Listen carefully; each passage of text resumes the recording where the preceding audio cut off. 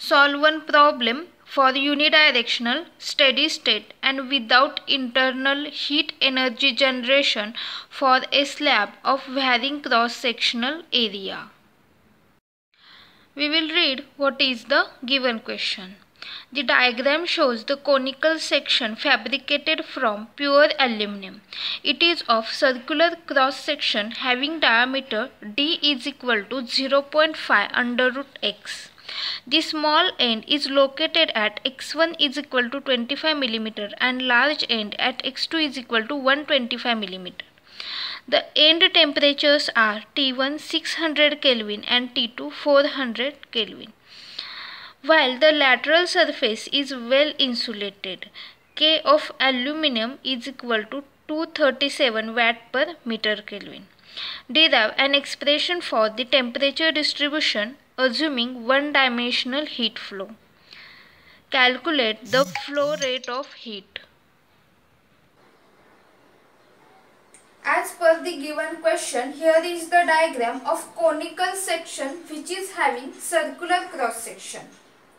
Now the distance of small end is given that is 25 millimeter from this initial line and the distance for this large end is also given from this initial line that is 125 millimeter. Now we have to find out the temperature distribution equation. Let us understand what is this temperature distribution equation. That is we have to find out the temperature at any distance x from this initial end for this given diagram. Now we will construct here that is the distance x from this initial line I will show here is any distance x and the temperature at this any distance x is nothing but Tx. So we have to find out the temperature Tx at any distance x and we have to develop one particular formula. So how to find out that formula? So for that here the limits are given that is here the small end we will give here the suffix 1 and this large end we will give here the suffix 2.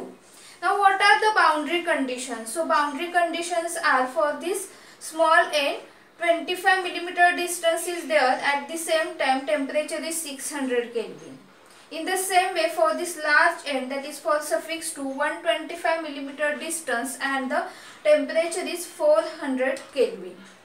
Now here is the unidirectional steady state conduction process is taking place and the heat is flowing along the direction of x. So we will show here that is here is the direction of x. So we will apply the Fourier's equation. So what is the Fourier's equation? That is Q by A is equal to minus K dt by dx. So there are two variables that is the distance x and temperature. So dt by dx that is these are the variables. Now we will reconstruct this formula. We will uh, transfer this dx to the left hand side. So q by a dx is equal to minus k dt. So here is area a. Now if we observe the given question here diameter d is given which is equal to 0.5 under root x so this is the formula for diameter given so here is variable x so how to find out the area. So circular cross section is given. So for this circular cross section, what is the formula for area? That is pi by 4 d square. So we have to put d in terms of x. That is pi by 4 0 0.5 under root of x bracket square which is equal to 0 0.196 x. So we can say that area is equal to 0 0.196 x.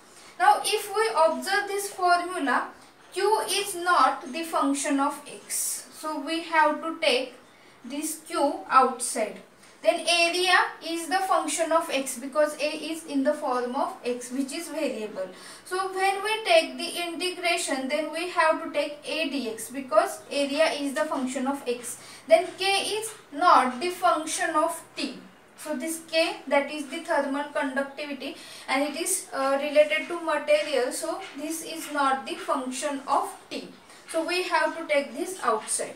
Now we will apply the boundary conditions. So what are the boundary conditions? Here suffix 1 and suffix 2 are the boundary conditions. So when x is equal to x1 because this distance at uh, this uh, small end we will say x1 then t is equal to t1. So this is the first boundary condition. When x is equal to x2 then t is equal to t2. So this is the second boundary condition. So when we take the integration on both sides for these two variables we have to apply these boundary conditions because this particular diagram or particular conical section is there for which we are applying the limits. So here q integration of dx by a that is 0.196x and limit is from x1 to x2 which is equal to minus k integration of t1 to t2 dt. Now we will solve this. So here q as it is now uh, 1 upon x. This is the form of 1 up integration of 1 upon x. So whenever there is 1 upon x then we have to take the ln and per that per ln x. So for this uh, 1 upon x we will write ln x and we will give limits x1 to x2 but this x is having coefficient 0.196 and which is constant. So we have to take outside the bracket. So here q divided because this is in denominator so we will take q divided by 0.196 ln x and x1 to x2 now in the same way minus k here is t1 to t2 dt so integration of dt that is nothing but t so here t t1 to t2 now we will move for the next step that is ln x and limit is x1 to x2 so upper limit minus lower limit. So q divided by 0.196 as it is ln x2 minus ln x1 which is equal to minus k for this upper limit minus lower limit that is t2 minus t1. Now we will simplify this. So here ln x2 minus ln x1 we will simplify here as a ln x2 by x1 and minus sign we will remove. So if we multiply this minus sign inside the bracket then here k t1 minus t2. Now we will take here q at one side and we will transfer all the terms to the other side. So q is equal to 0.196 k t1 minus t2 divided by ln x2 by x1. So this is the formula for q that is the heat flow in terms of t1 t2 and x1 x2 and we will give here the equation number 1.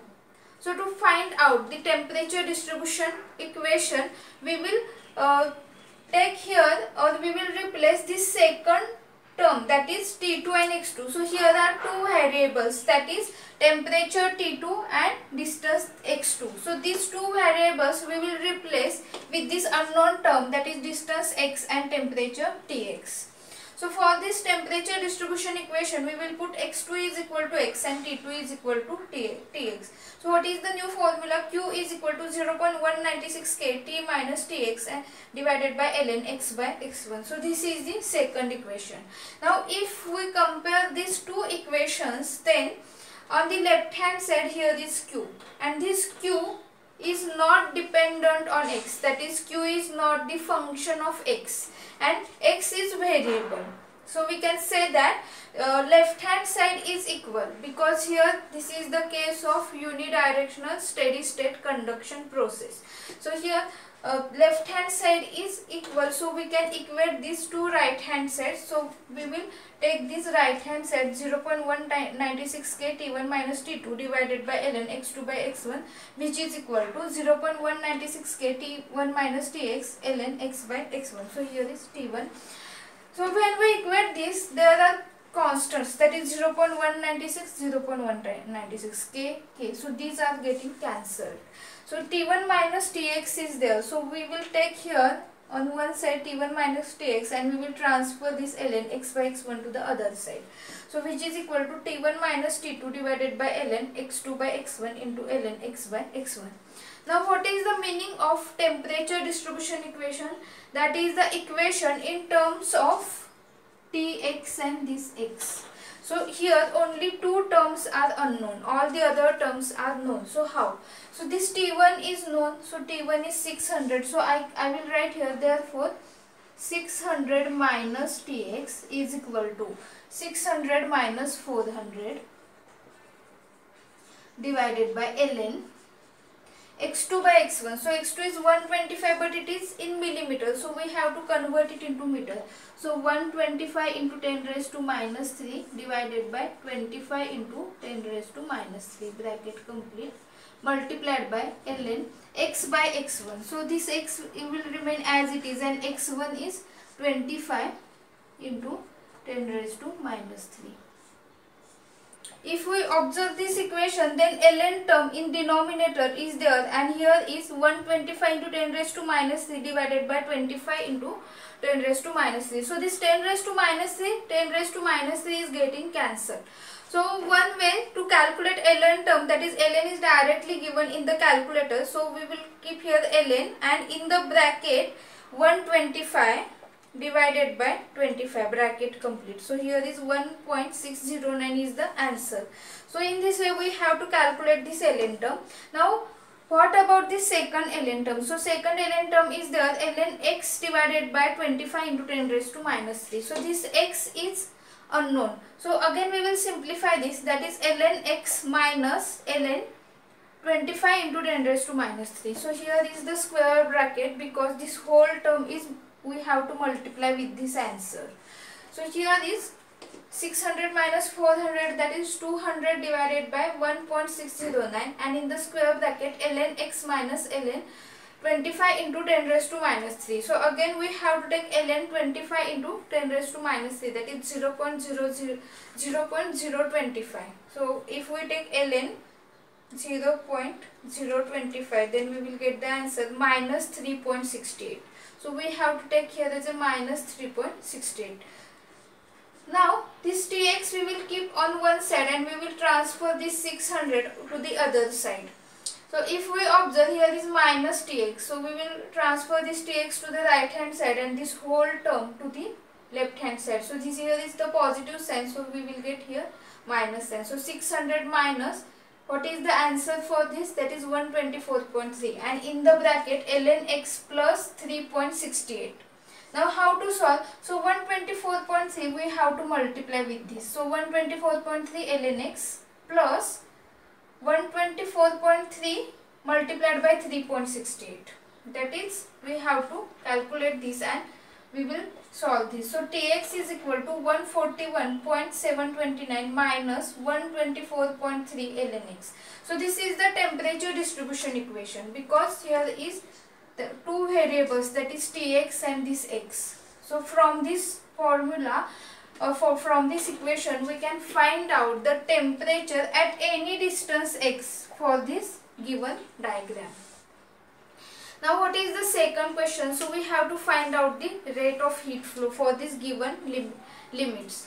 So there is the equation 1 that is for this Q in terms of T1, T2 and X1, X2. So here is the formula. So T1 is known, T2 is known, X2 and X1 is also known. K is also given. So we will, when we put all the values then we will get the answer Q is equal to 2017.38 watt.